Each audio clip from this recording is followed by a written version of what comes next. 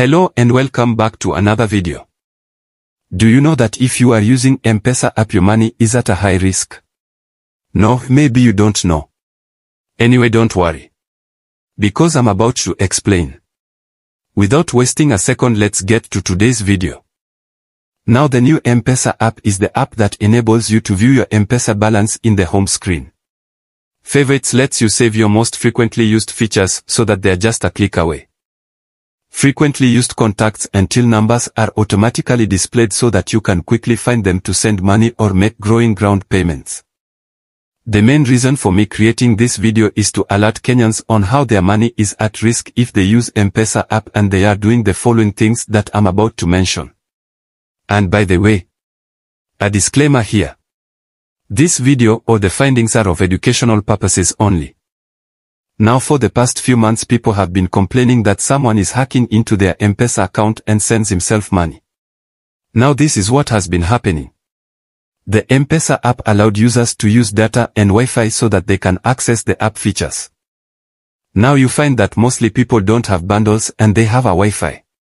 Now someone decides to use Wi-Fi so that he or she can access the M-Pesa app immediately you start using the public Wi-Fi on your app that's when you gave hackers a chance to monitor your activity.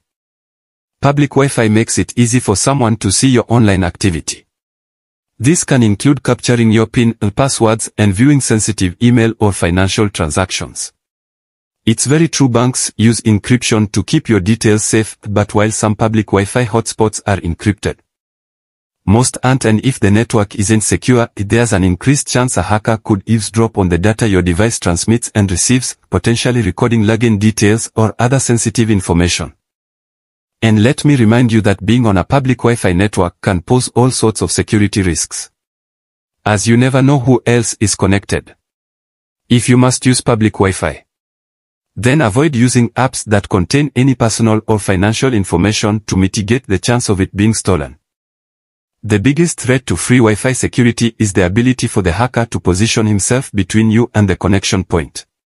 So instead of talking directly with the hotspot, you're sending your information to the hacker who then relays it on.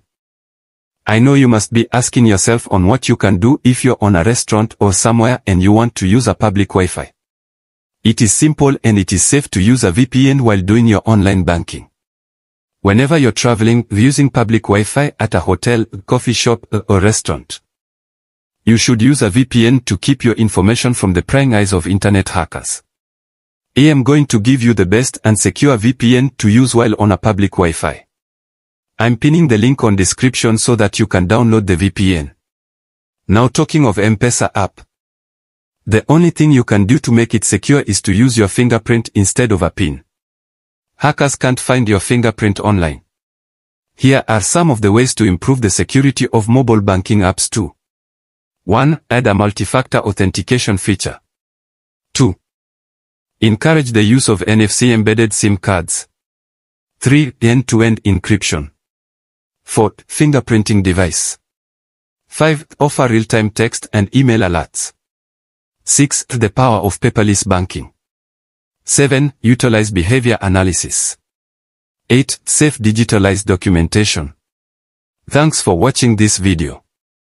If you found it helpful kindly give us a like and subscribe.